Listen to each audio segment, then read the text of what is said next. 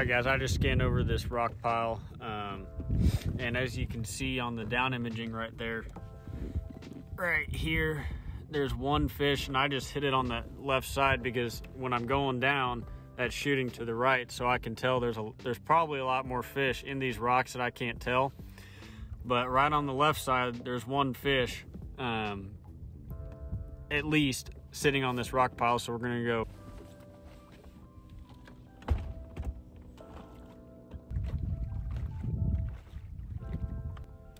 So now that I'm lined up on the brush pile, I have my 360 running right now and you can barely see it, but that's because I was moving right now, but it should pop up here in a, here in a second a little bit clearer.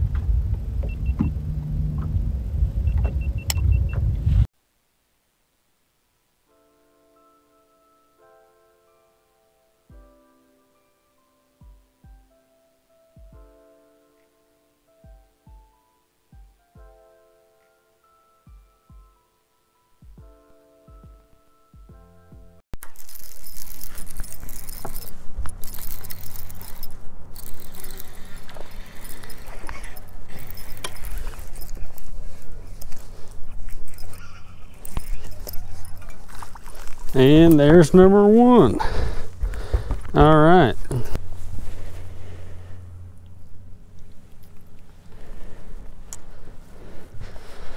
Uh, on that jigging spoon right there. It's a pretty good one. Let's see. Let's see how long he is. I only got a 15 inch measuring board. Um, don't know if you guys can see that, but he's probably 16 and a half. Pretty. Come on, buddy. Come on, buddy. 16 and a half inches, not a, not a half bad one. First one of the day.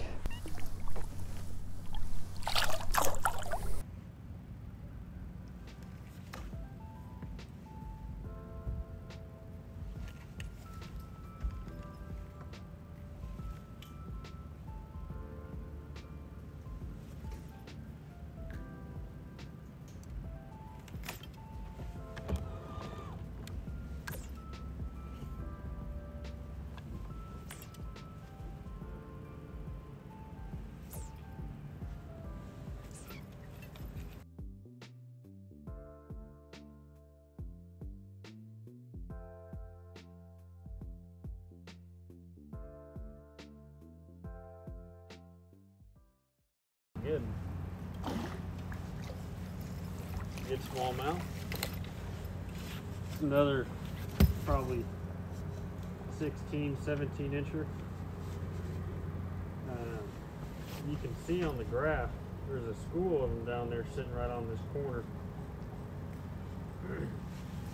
I'll show you. See all those fish right there? Those are the ones I was targeting that good one. Let's measure him real quick, see what he's at.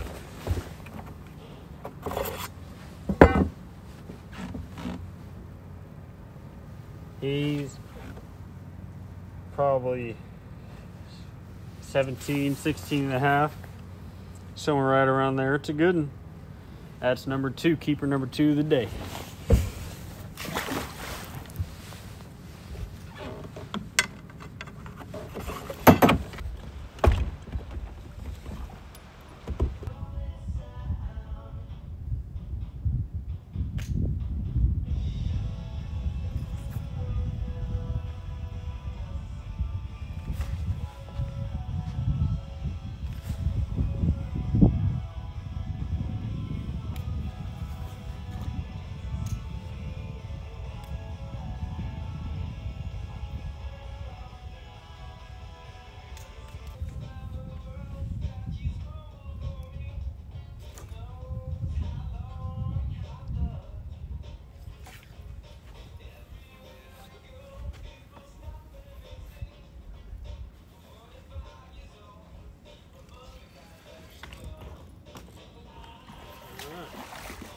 Caught another big one. That's a big smallmouth right there, boys. Look at this one. This is a big one.